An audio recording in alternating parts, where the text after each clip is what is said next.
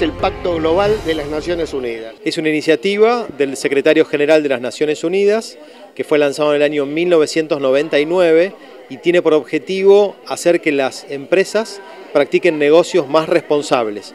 Y para eso se les propone firmar un pacto global en donde las empresas se comprometen a respetar 10 principios vinculados con el respeto a los derechos humanos, el mejoramiento de las condiciones laborales, el cuidado del ambiente y la lucha contra la corrupción. Las empresas están reaccionando positivamente.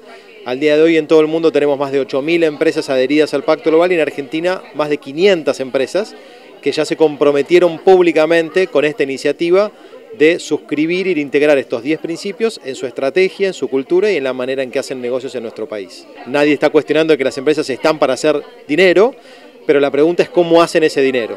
Y la manera de hacer dinero es respetando el ambiente, respetando las cuestiones ambientales y sociales e integrándolas en su estrategia.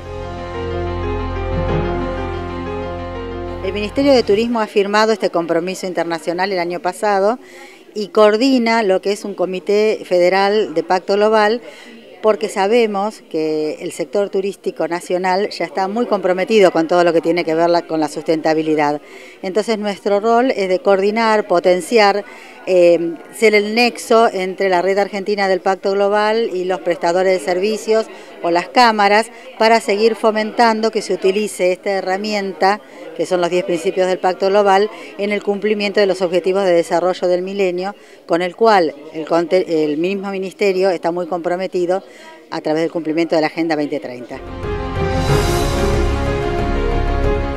El pacto tiene un modelo de gestión que involucra una serie de pasos pensados todos de manera de la mejora continua. En función de eso comienza con el comprometerse, sigue con la evaluación o el análisis de las oportunidades, los riesgos y eh, los impactos. Después tenemos el tema de la definición de objetivos y de estrategias. Por último, la comunicación. Entonces, digamos, en ese círculo y empezamos otra vez de nuevo. Básicamente, eh, lo que hay que hacer una vez que nosotros firmamos, ahora vamos a empezar a trabajar, a ver cómo podemos llevar a la práctica el cumplimiento de los 10 principios.